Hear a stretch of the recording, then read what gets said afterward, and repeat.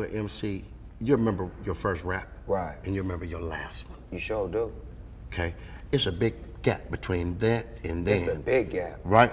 A motherfucker ain't got good. Boy, You know. my first rap so- was terrible. Man, you know, mine was kind of kind of whack. Mine was It's called the LP rap.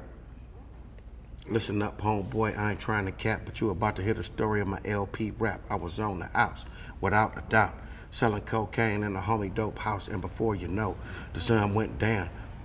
This said you're going downtown. They took you to control. They took away your clothes. They gave you some khakis with a whole bunch of holes, and then you went. Then you look out the window through your screens and bars, just thinking how your life is going so far. But then you say, "What's next? I'll go to court." Then the judge looked at your records and reports and said, "Young man, you never learned a crime don't pay. Sent your ass to CYA."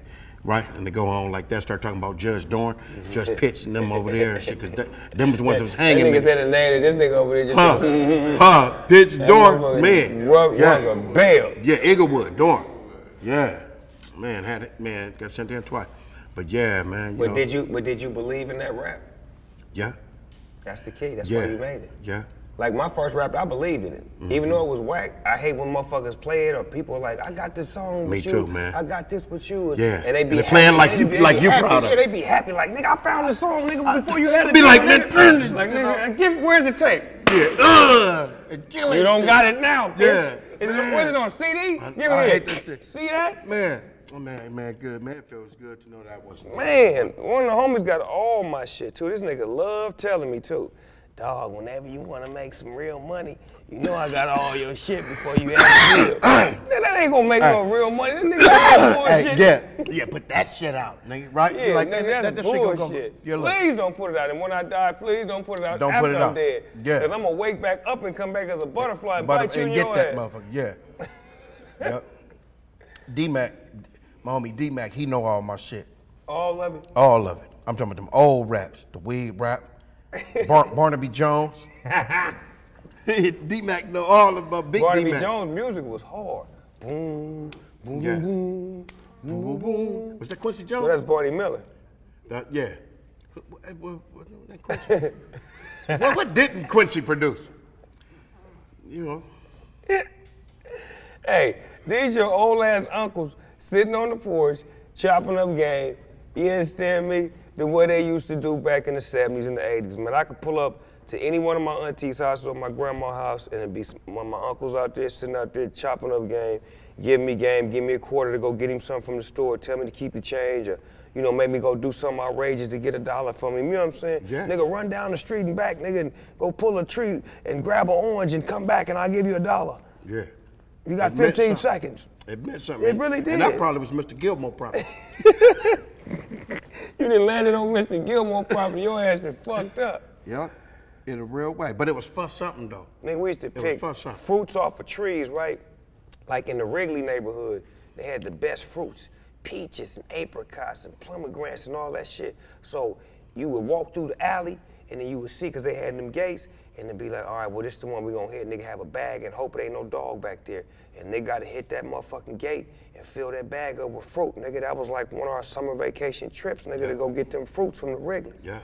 Some good way. fruit, them pomegranates and them fucking apricots. Yeah. Hey, in Compton, we used to go, uh, go swimming at Mona Park, right? Mm. Gang of chlorine, right?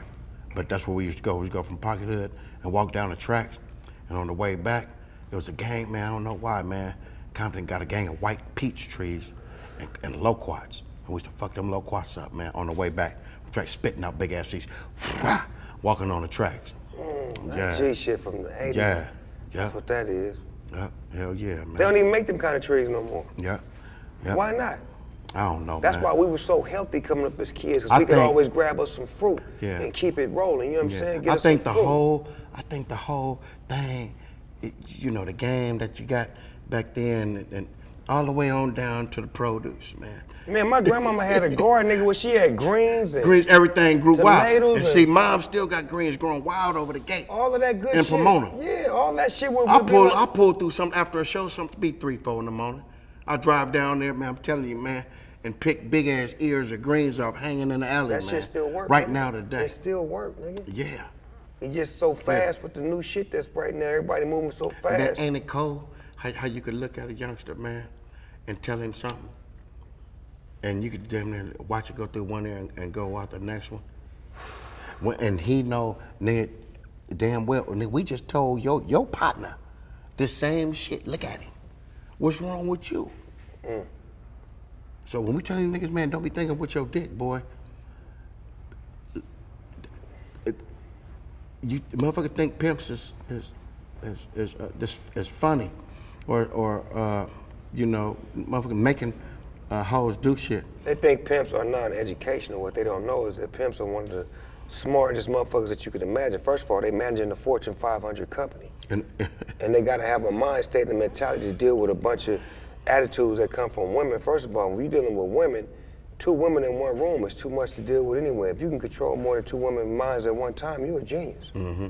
for a square, um, um, you know, it's almost torture Yeah. to a square, but to a P, shit, it's it's it's a it's a run. It, it's something needed. I think it's like a rush. It's like a fish out of water when Right on. when the P is in where he's supposed to be at. He's like he's loving to be in that water. He's swimming and he's dancing around the water, but the one that don't know what he's doing, he's out of water.